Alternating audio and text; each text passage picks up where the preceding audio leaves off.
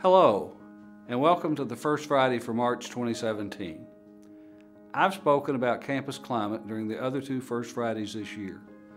I've been gratified by the response to the proposal to create a campus climate council here at A-State, and that proposal is currently being reviewed by the faculty and staff senates.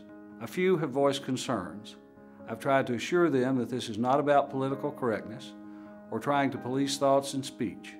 It's about attitude, understanding, and civility. I think I have touched on shared governance in every one of these First Friday videos. Recently, I offered some suggestions to the Shared Governance Oversight Committee on how it might become a more fully representative group that could nimbly respond when necessary. The normal and expedited reviews work well in most instances, but there will be the rare issues that need a more rapid response.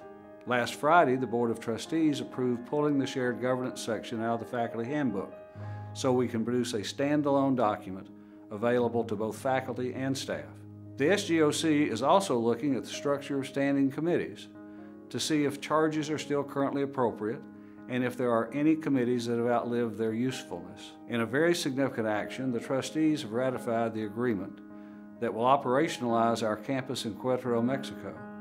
This venture is exciting and will not only pay financial dividends to Arkansas State University, but will also provide wonderful opportunities for our faculty and students. Provost Cooksey recently asked me if I would be the commencement speaker in May. I gladly accepted and hope the graduates and others at the exercises do not regret her making this invitation. You are likely aware of the hiatus that has been declared for Greek organization social events.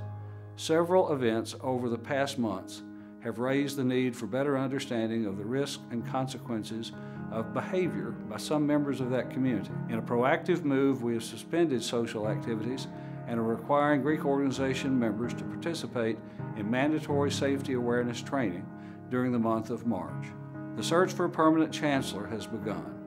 I was impressed with the opportunity given to the campus community to weigh in on the position announcement and believe a solid search committee has been put in place. Part of my mission here has been to position this institution in such a way as to make it attractive to outstanding candidates. With the help of a lot of you, I feel good about the path we are on. Our Red Wolves basketball teams will be playing in the Sun Belt Conference next week in New Orleans. Join me in pulling for them in hopes that we will get to go dancing. Between now and the April 1st Friday, we'll be observing spring break. Enjoy yourself and be safe. Come back ready to help our students finish the semester in a positive way. Until then, continue to speak with me when you see me out and about. Remember, you can always reach me at chancellor at astate.edu and wolves up.